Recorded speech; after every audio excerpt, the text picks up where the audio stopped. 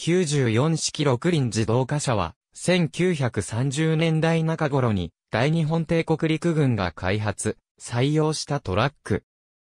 通称は94式自動化車、94式トラックなどとも。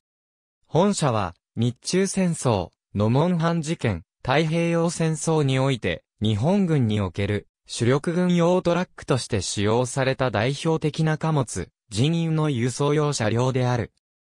開発時、機構部隊や自動車化風評などの機械化部隊に追従できること、また特殊な地形でも行動できる、平坦自動車部隊で使用できること、構造が堅牢であることが要求されており、帝国陸軍のバックアップ、厳しい検査基準、頑丈な統制型エンジンなどにより、やや急平な部分もあったが、当時の日本における国産車としては、比較的良好な性能、信頼性を備えていた。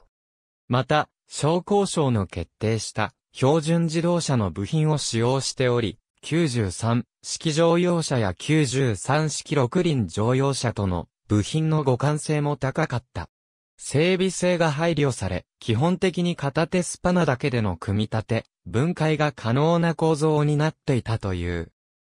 不評部隊、視聴部隊、砲兵部隊、公兵部隊、機構部隊、航空部隊や後方支援部隊などにおける輸送用途だけでなく、軽量の野戦砲、速射砲、高射砲の牽引車、荷台に98式 20mm 高射機関砲を搭載しての自走式対空砲など、各陛下では回収を施して特殊用途にも用いられた。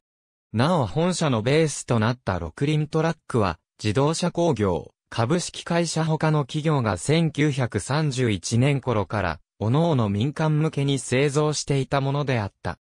軍用保護自動車として選定されたトラックは、軍用自動車補助法に基づき、民間へ販売される際に政府が補助金を交付しており、これにより、自動車産業の育成と、自動車そのものの保有台数の強化に努めていた。有事の際には、軍が民間の車両を買い上げて使用する計画であったが、大部分は期限が切れ、民有のままであった。本社は前方に2輪、後方に4輪を配する。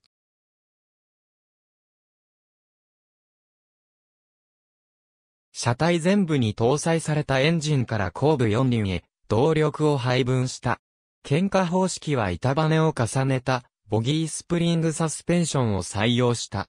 路上で時速 60km、路外でも相当の運動性を持つこととされた。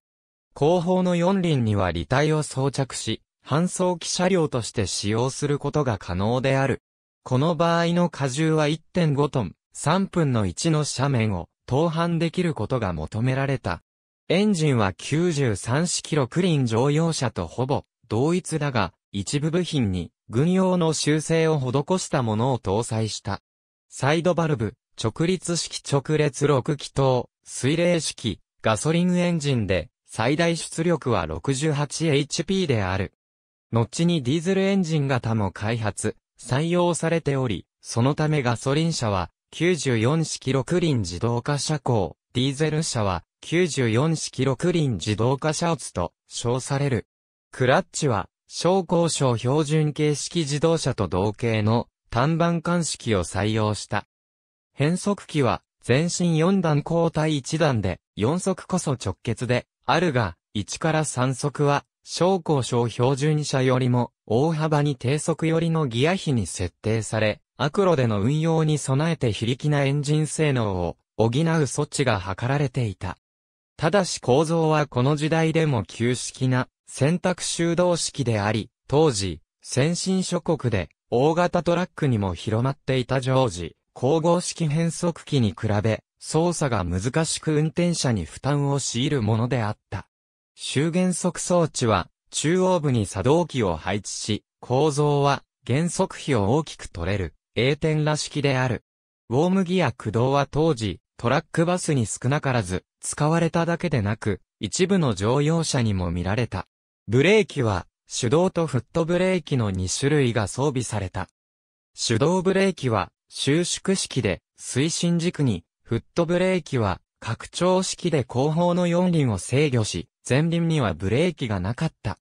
1930年代当時、すでに自動車用、ブレーキ技術として、油圧式ブレーキが導入されており、ブレーキを前後輪すべてに装備して安定した、ブレーキ性能を得る手法が、民間向けトラックでは広まりつつあったが、日本陸軍は、油圧式ブレーキに信頼を置いておらず、旧式で操作も思いが故障しにくい、機械式ブレーキを採用していた。車輪には34イン6インの空気入りゴムタイヤを使用した。運転席はホロ型で、上部側面とも完全に覆われており、運転手を含む3名まで乗車可能。二賀町は、床面積4.6平方メートル、床高さは、地上高1、2メートルである。荷台には3方に開閉する扉が設けられた。扉は、着脱可能である。ホロ骨を取り付け、綿布製のホロを貼ることができた。満州事変当時、フォード製などの輸入車を主力トラックとして運用していた陸軍は、新たに国産の六輪自動化車を制定することとした。それまでの研究の結果から、重量軽減と補給の容易さが求められた。1933年、陸軍自動車学校にて研究に着手した。同年3月、民間の自動車企業から軍用自動車として適切なものを採用し、これに満州事変での部隊運用の結果を加味し、6月に第1回試作を行った。ベースとなった車両は自動車工業株式会社及び東京ガス電気工業株式会社の千代田、墨田六輪自動化車である。当初の試験結果は、おおむね良好であり、逐次改良を加えながら、さらに試験を重ねた。7月には、北満州で、雨季遠熱試験、11月には、御殿場で、修正試験、翌1934年1月に、北満州で、冬季試験、同月に、長野付近で、感知試験、6月に、台湾にて、熱地試験、7月には再度北満州で、遠熱試験を行った。性能上必要な改修を重ねた本社は、陸軍自動車学校での研究を終えた。同年11月、陸広市第6922号により審査を開始した。性能自体は、大ね良好であった。しかし、車両の製造は前述した2社で行われていたが、図面に共通性がなく部品の互換性に乏しかった。